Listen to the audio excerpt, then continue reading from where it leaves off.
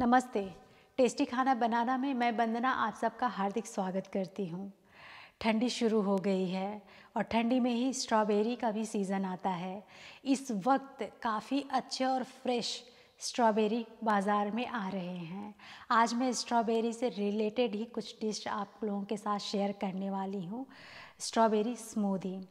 Smoothie पी, strawberry smoothie पीने के लिए आपको बाहर जाने की कोई ज़रूरत नहीं है। अगर आपके पास घर पे स्ट्रॉबेरी है तो आप दो मिनट के अंदर स्ट्रॉबेरी की स्मूदी बनाकर घर पे पी सकते हैं।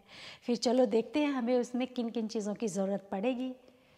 हमें बस इतनी ही चीज़ों की ज़रूरत पड़ेगी स्मूदी बनाने के लिए। यहाँ पे मैंने दही ले लिया है, फ्रेश स्ट्रॉबेरी है, अच्छे से मैंने वॉश कर लिया है। यहाँ पे क्रश्ड ये आइस क्यूब्स हैं और यहाँ पे शक्कर। तो चलो अब हम बनाना शुरू करते हैं। यहाँ पे हमें जार ले लेना है। उसके बाद पहले हम ये अपना स्ट्रॉबेरी डाल देंगे पूरा।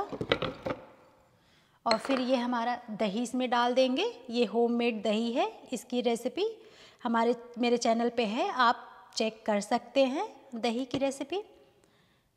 और फिर इसके बाद हमें, ये ऑप्शनल है क्रस्ट आइस क्यूब्स। अगर मैं आप ठंडा प्रेफर करते हैं अच्छा लगता है आपको तो ही डालना, नहीं तो इसको स्किप भी कर सकते हैं।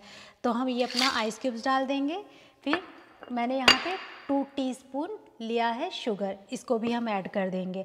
अब हमें क्या करना है, बस इसको, जार को हम बंद करके और इसको अच्छे से हम मिक्सर में पीस लेंगे।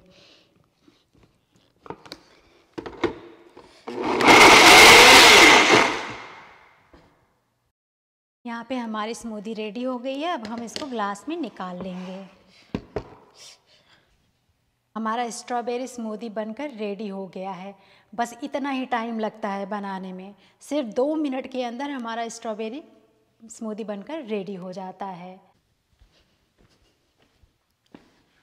इस तरह से आप स्ट्रॉबेरी स्मूदी बनाकर पियेंगे ना तो आपको बिल्कुल आलस नहीं लगेगा बनाने में। देखा कितने जल्दी बन गया हमारा स्ट्रॉबेरी स्मूदी।